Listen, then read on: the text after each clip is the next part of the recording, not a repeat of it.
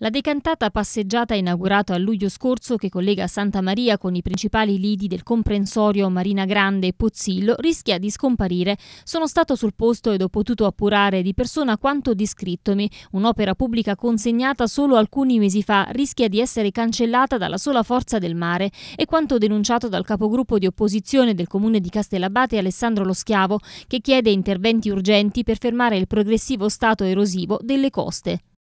L'azione politica dell'amministrazione comunale targata Costabile Spinelli è descritta anche da quest'opera pubblica, un'opera pubblica inaugurata a luglio, un'opera pubblica che a distanza di pochi mesi è stata divorata dal mare.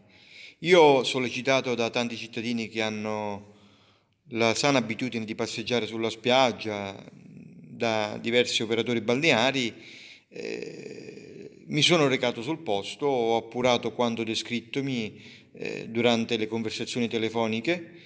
e ho potuto certificare lo stato di degrado, lo stato di abbandono di un'opera inaugurata a luglio eh, che rischia letteralmente di scomparire sotto la forza dirompente del mare. Ho pensato bene di scrivere al sindaco, di denunciare questo stato di degrado questa decomposizione, la chiamerei io, di un'opera pubblica che ha pochi mesi di vita e quando in ballo ci sono i soldi pubblici, i soldi di tutti i cittadini del comune di Castellabate, si chiede all'ente di farne un uso misurato, un uso eh, chiaro e soprattutto che eh, un investimento che duri nel tempo, che non duri l'arco di una mezza stagione turistica. E il danno è fatto. Io nella mia denuncia ho sottolineato di come l'amministrazione comunale avrebbe dovuto predisporre un piano di, di manutenzione e recupero eh, consistente anche nel rialzare i quadroni di cemento nei punti maggiormente eh, esposti all'erosione della costa, conservare gli stessi quadroni di cemento presso le strutture balneari presenti, perché poi ricordiamocelo tra l'altro che questa passeggiata principalmente serve per collegare eh, dire, il lungomare di Santa Maria con i principali lidi balneari del nostro comprensorio, del nostro litorale. E invece eh, è arrivato Natale, è arrivato il Capodanno, è arrivato il nuovo anno e l'opera è saltata. Quindi l'opera stessa è da considerarsi come un'opera pubblica uso e getto, la facciamo per la durata di un'estate e, e poi si vedrà. E tutto questo non va bene e io ho messo nero su bianco le mie valutazioni, le mie perplessità, cercando di farmi interprete anche del pensiero della cittadinanza del comune di Castellabate e cercando anche di aprire un dibattito molto più ampio